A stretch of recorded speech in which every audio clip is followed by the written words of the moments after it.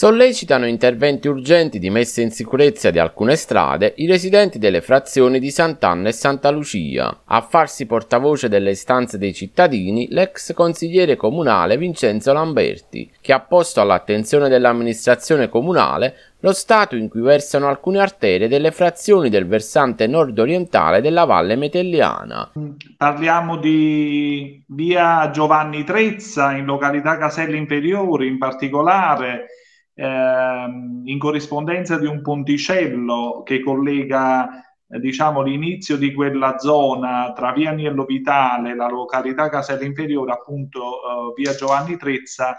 eh, lato vallone c'è bisogno di un muretto, di una, rec- di una protezione maggiore perché dalle foto è evidente chiaramente che c'è un pericolo eh, concreto poi in generale lo stato di degrado in cui versa il territorio, le frazioni in particolare, e ho segnalato eh, in primis via Diego Pisapia in località Breccelle, è la strada che conduce eh, da un lato al Parco di Ecimare, dall'altro lato al Parco degli Ulivi per intenderci, eh, praticamente versa in uno stato rovinoso, ma di degrado assoluto, eh, come evidente questo da anni, poi con le piogge ovviamente la formazione di grosse buche, di fossi, quindi danni ai veicoli, non ne parliamo.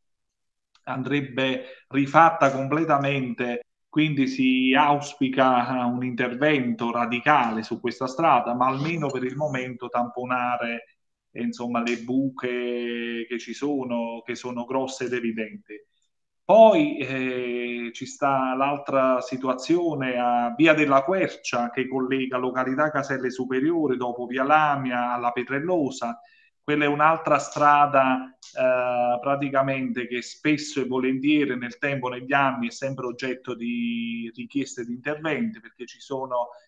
per non parlare di Via Vincenzo Senatore in località Bagnara, lì c'è un tratto ceduto da anni il quale, sul quale è stato chiesto un intervento di messa in sicurezza, un muretto di contenimento del tratto ceduto eh, che è andato cedendo appunto su un terreno circostante, eppure lì rappresenta un pericolo costante, però ad oggi ancora nulla. Insomma, un po' di attenzione concreta, vera sul territorio. I cittadini non chiedono grandi opere, non chiedono grandi interventi, non chiedono grandi cose, chiedono una semplice attività ordinarie di manutenzione, di messa in sicurezza soprattutto di quelle arterie, di quelle strade che vengono comunque quotidianamente attraversate e che rappresentano un pericolo, un'insidia vera e propria.